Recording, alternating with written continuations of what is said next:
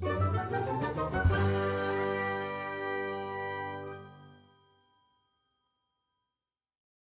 everyone, today I'll be showing you how to do this red color wash design and yes there's a design here I swear but it doesn't really show on camera I every time that I do a design with red or pink that is like color wash or a gradient it doesn't look like a design on camera and it's really annoying and I don't know what to do about it but what can I do? Start with a red base and apply liquid latex around your nails.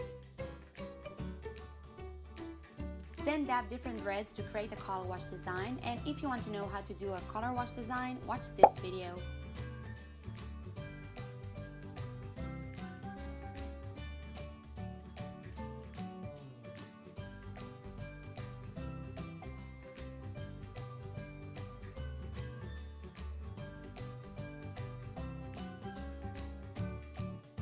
When done, remove the liquid latex and clean up.